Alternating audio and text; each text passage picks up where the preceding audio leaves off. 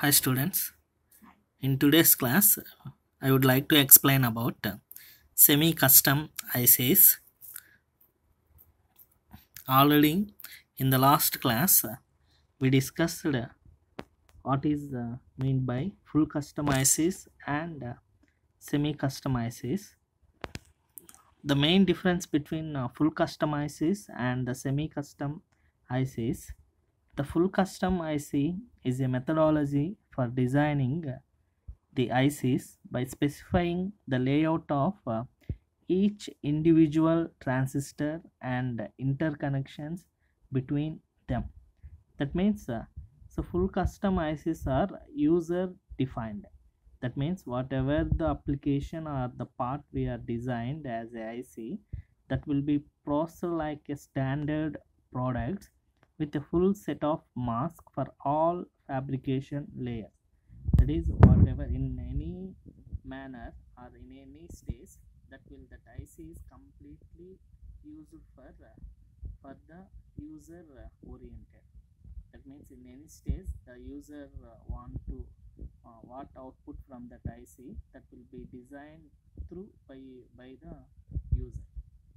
In case of uh, semi custom ICs these designs either uh, partially or fully fabricated or structured like uh, standard and custom ICs but with uh, largely pre-designed mask patterns.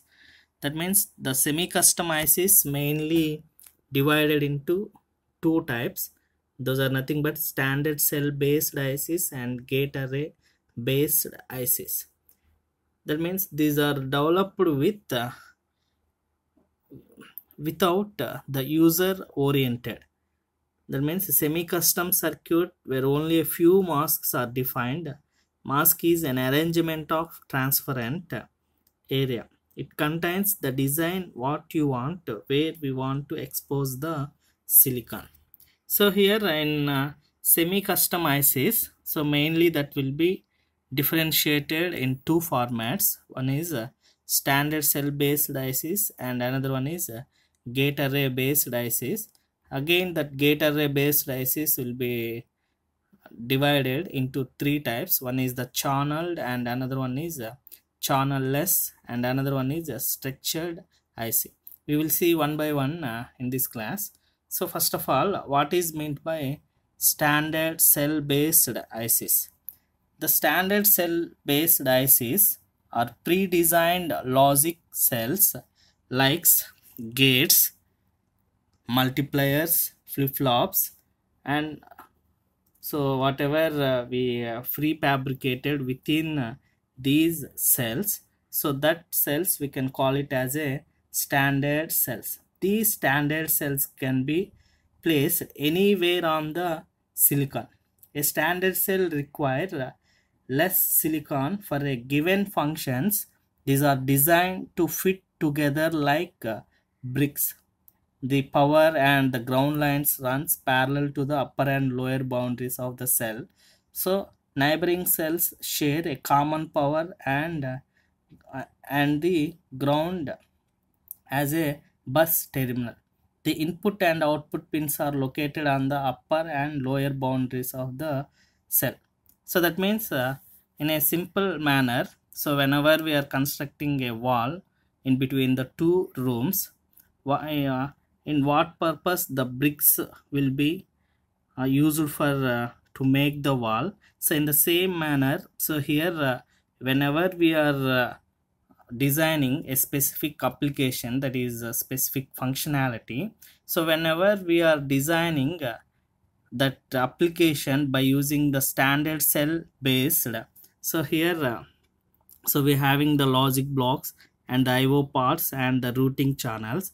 So in between wherever the logic block array is uh, uh, forming so at that place the the specific functionality that means either it may be um, constructor like as a gate or constructor like as a multiplier and constructor like as a flip-flop. So at the at that place we are completely manufactured or formed like a, a specific application in case of the within the standard cell based ICs and remaining whatever the input and the output and the remaining uh, uh, routing lines that will be formed uh, upper and lower boundaries of that particular uh, standard cell.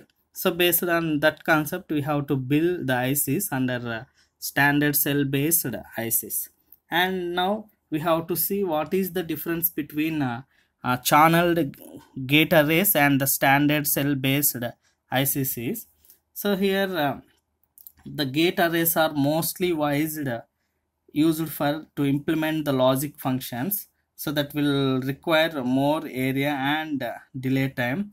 And the design time with gate arrays is shorter than the standard cell design. So in this transistors are predefined on silicon wafer. A gate array is an IC chip on which gates are placed in matrix form without any connection among the gates. By connecting the gates, user can realize logic networks and the connections among gates are run in narrow strips of space between columns of rows of gates. These strips of space are uh, nothing but routing channels. Design with gate arrays is, is very inexpensive and quick. So compared with uh, standard cell ICs and uh, gate arrays, so the design time and the expense that means uh, uh, whatever the time taking uh, for to design the design that will be inexpensive so in gate array based ICs so mainly we're having the channeled gate array so whatever here uh, the shown diagram uh, represents the channeled gate array format. So here also we're having uh, the logical blocks that means the base cell and the routing interconnections and the input and output pads so that will be cleared. So whatever uh, here the logic will be the IC will be implemented. So that will be clear uh, that will be clearly shown uh, in out of the space uh, that is in circle format. So how the ICs or the programming will be done based on the gate array based ICs so the channeled gate array so here uh, the futures the features of the channeled gate array is uh, the interconnection whatever uh, we have to implement the logic from one cell to another cell so that will use us predefined spaces between the rows of uh, base cell. And a channel gate array is manufactured with single or double rows of the basic cells across the silicon.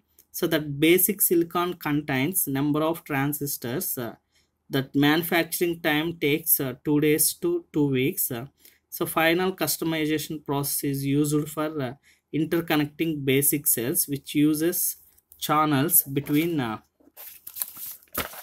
between the rows of uh, cells for interconnection. That means here we are having a, a channel. We're having a channel in between uh, uh, to follow the one logic to another logic. So uh, it will create uh, some transistor functionality in between one cell to another cell. So based on this application so we have to fulfill our uh, requirement and the next one now uh, channelless gate array so here and it is also called as a sea of gate arrays so by observing the channelless gate array and the channeled gate array, so here one row to another row, we're having uh, a particular uh, channel. So we have to follow. So in which place, uh, which functionality will be performed. So that will be clearly defined in channeled gate array. But there is, that is not uh, convenient in channelless gate array. So that is, uh, it is also called it as sea of gate arrays so here uh, the number of array elements are increased. There are number of predefined areas for routing between the cells. So it allows larger number of array elements to be utilized than a channel array for the same size of die. So same thing that will be without the channel. So we have to implement the logic in any part of the uh, this array and the next one a structured gate array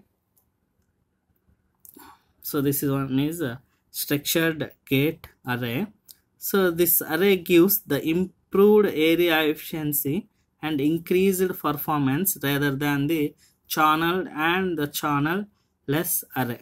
And the advantages of gate arrays is this can be designed in a short time. Only one cell of transistor needs to be carefully designed and this layout can be repeated on chip and the power consumption is reduced. And the speed the speed of the circuit will be very high compared to that is um, full customizes and the standard cell based ICs. And we having the drawbacks here uh, the chip size is large compared to full custom or uh, standard cell the chip size is large. It is difficult to keep gate arrays uh, uniform and each pair of uh, MOSFETs is placed in an individual and if the number of fan outs and the length of the fan out connections increases due to the delay increases from one channel to another channel. So whenever we are increasing uh, the array of cells then the delay also increases from one channel to another channel or one row to another row. So that is uh, one of the disadvantages in uh, gate array based ICs thank you